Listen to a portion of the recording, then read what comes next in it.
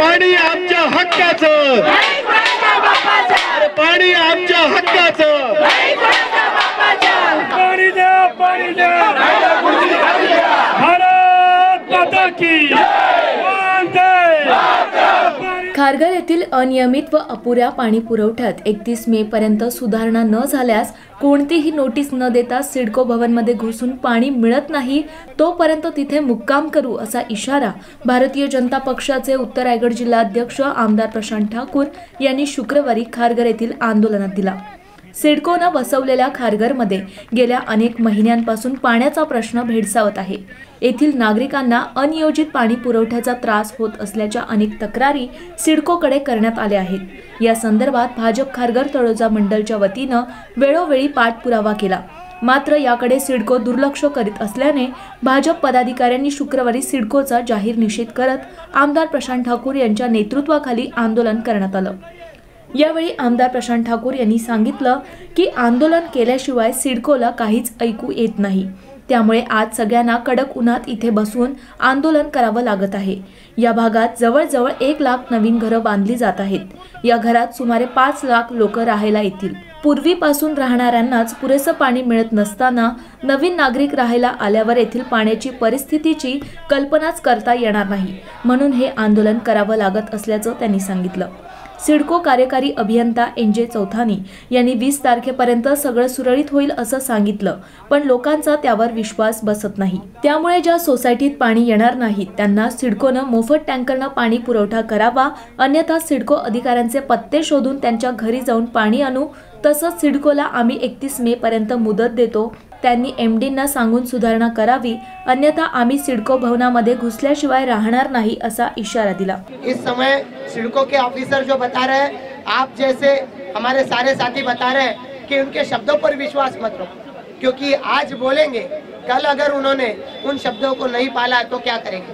पर फिर भी कोई जादू की छड़ी है नहीं कि आज हम लोग यहाँ पर आ गए और घर पर जाकर देखा कि पानी से हमारा घर भर गया, इतना पानी नल से दे दिया। ये तो नहीं हो रहा है। पर कम से कम हम लोग जब तक नल से पानी नहीं ले सकते, मैं जब चेयरमैन था तो मैंने कहा कि जिसको नल से पानी नहीं दे सकते, उसको टैंकर दीजिए। और अगर टैंकर से देंगे तो उसका पैसा सिडको खुद अपनी जेब से भरेगी। लोगों को या सोसाइटी को अपनी जेब से ये पैसा नहीं भरना चाहिए।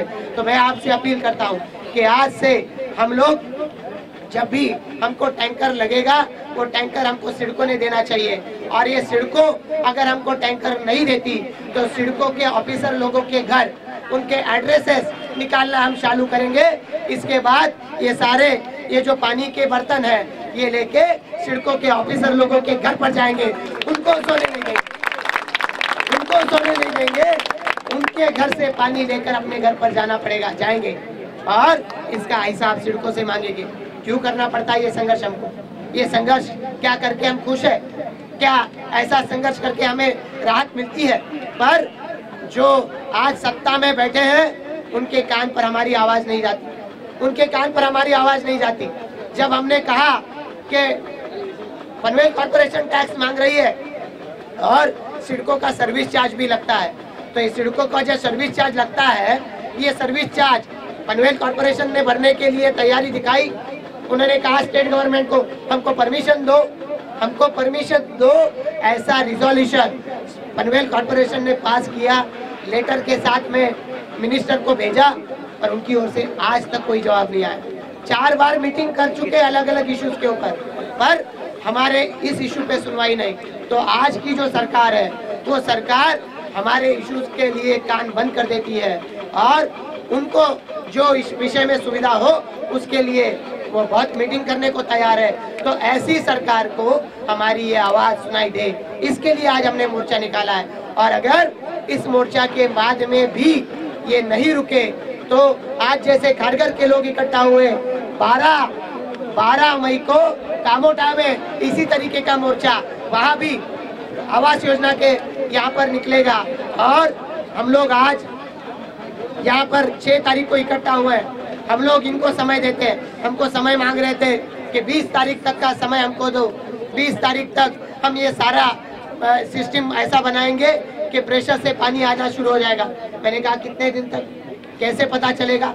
तो आज के समय में ये हमारी जो सारी मांगे हैं, इन मांगों को हम लोग सिडको के एमडी के पास फिर एक बार रखेंगे।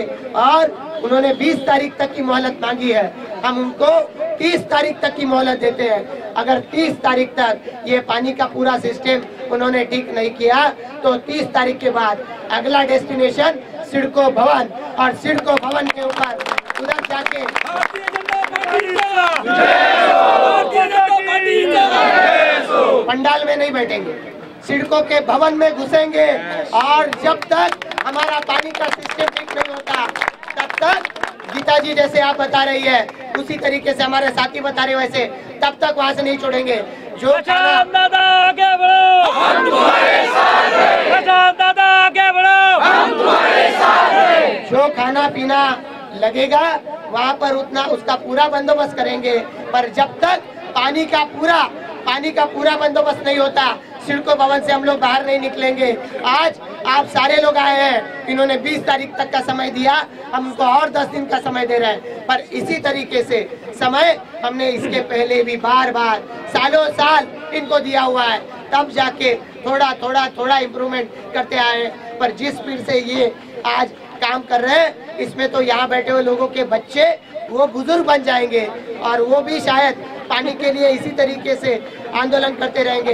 ये हमें मंजूर नहीं है। तो आने वाले समय में डेडलाइन के साथ 30 इकतीस मई 31 मई तक अगर ये सिस्टम ठीक नहीं हुआ तो आने वाले 31 के बाद किसी भी दिन ना नोटिस देंगे पुलिस को, ना नोटिस देंगे सिड़कों को, किसी भी दिन सिड़कों में घुसेंगे और घुसकर वहाँ का कब्जा ले लेंगे। यही हमको करना पड़ेगा।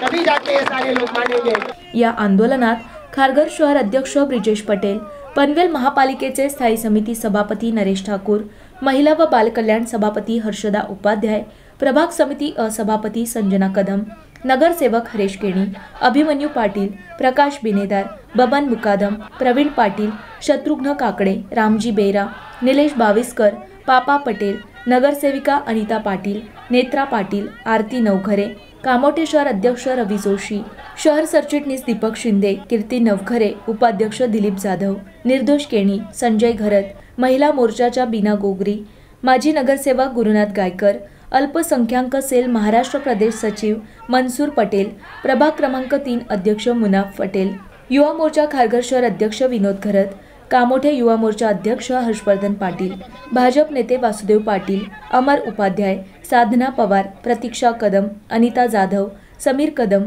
खारघर पाणी पुरवठा अधिकारी सिडको अधिकारी अंकिता वारंग कांचन बिर्ला अजय माळी राजेंद्र मांजरेकर संदीप रेड्डी नवनीत मारू राजेंद्र अग्रवाल रुपेश चव्हाण माधवी कोटरू दुर्गा बन्सल शैलेंद्र त्रिपाठी सुमित शहा विनोद ठाकूर अनिल साबणे लघवीर सिंग सैने गीता चौधरी मोना अडवाणी सहभागी झाले होते. पनवेल आणि नवी मुंबईच्या ताज्या घडामोडींसाठी मल्हार टीव्ही न्यूज सबस्क्राईब करा आणि बेल आयकॉन दाबून रहा अपडेट.